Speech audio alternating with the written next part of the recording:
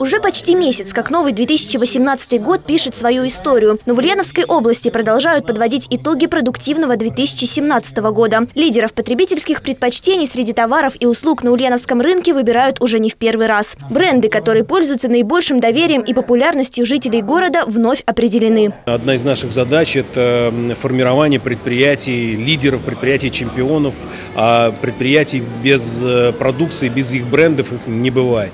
И поэтому это одна из э, частей той большой работы, которая э, идет в качестве выявления э, существующих продуктов, формирования из них полноценных региональных брендов, продвижения их на национальные и международные рынки. Многие из ульяновских брендов уже вышли на международные рынки. Кто-то только недавно стал известен в собственном регионе, а кто-то уже не первый раз получает признание потребителя. Компания «Фабрика снов» получила заслуженную награду в номинации «Промышленное производство». Эту награду мы получаем уже второй год.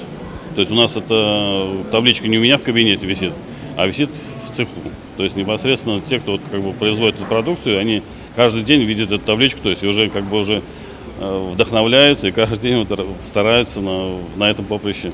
Лучших выбрали не только в области промышленности, но и торговли, строительства и жилищно-коммунального хозяйства, красоты и здоровья, сельского хозяйства и пищевой промышленности. Возможно, эта награда станет стимулом в продвижении своего бренда на рынок России и за ее пределами. Видеоролики, которые идет, идут о каждой компании, я э, буквально меньше чем через неделю представлю всем европейским корпорациям, которые соберутся на презентацию и на э, разговор со мной и на обсуждение возможности сотрудничества с Ульяновской областью. Более сотни крупнейших компаний Европы узнают о бизнес-климате Ульяновской области и наверняка заинтересуются предприятиями, ставшими региональным брендом. Кристина Жакот, Константин Никитин, Новости Ульяновской правды.